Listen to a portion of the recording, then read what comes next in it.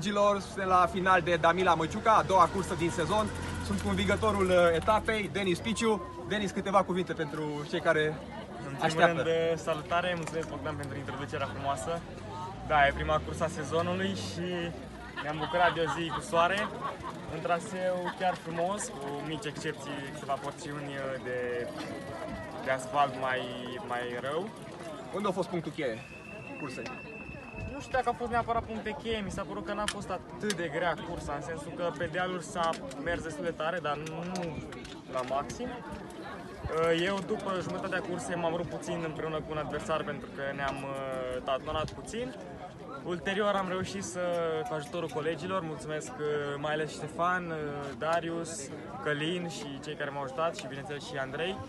Și cu ajutorul colegilor am reușit să prindem, Uh, doar eu cu Ștefan și cu, cu Cătălin Buta și în ultimii 4 km când se întâmpla asta ne-am pregătit de sprint, iar Justin m-a ajutat foarte mult la final. Hai să vedem Și că ai am reușit recuperat să- două minute, da?